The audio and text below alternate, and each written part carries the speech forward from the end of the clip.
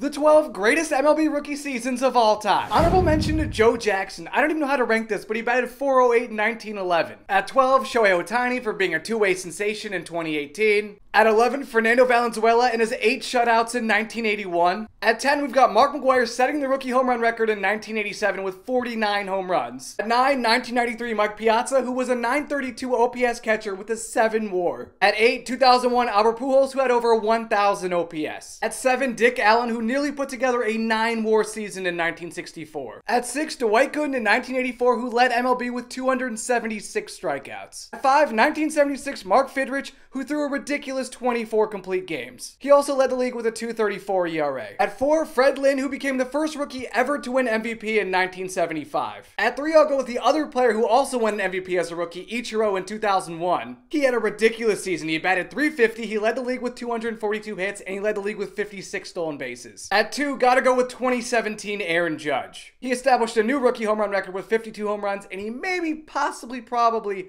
should have won the MVP. But that's a whole separate debate. And I won. It's got to be Mike Trout's 2012 season where he should have won the MVP because he compiled a 10.5 war in 139 games.